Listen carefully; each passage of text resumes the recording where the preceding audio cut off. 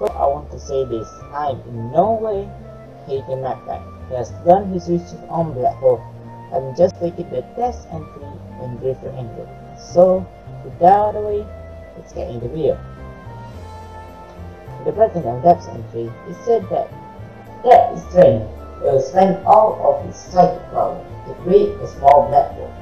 So if you haven't watched game theory video about this topic, basically Gardevoir can make a black hole because Science! Okay, for real though, to make a black hole that will sustain itself, you will need something as big as the moon, which is uh, very big.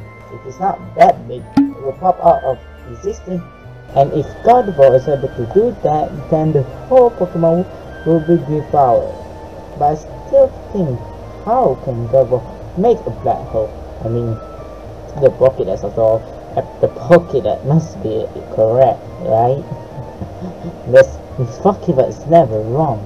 Never, not a single time, not a single entry is wrong.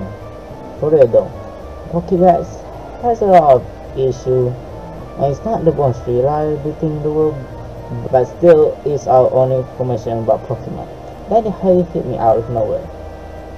What if the black hole is not a black hole? What if it's just a Pokemon? Gravity.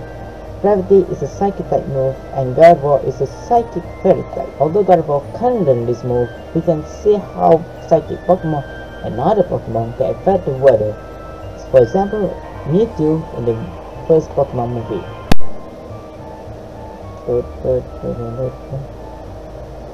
And Emerald Dash and three, Gardevoir would not be affected by the black hole. Although a real black hole would suck anything.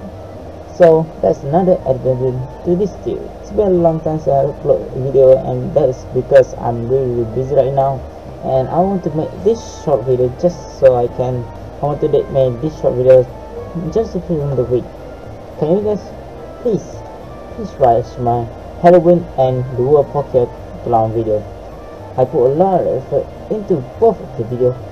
So please give it a try and without other way please give the video a like and share this video to Facebook, Twitter or your other social media and please follow me on my social media which is Twitter and the Pokemon and see you guys again in the next video.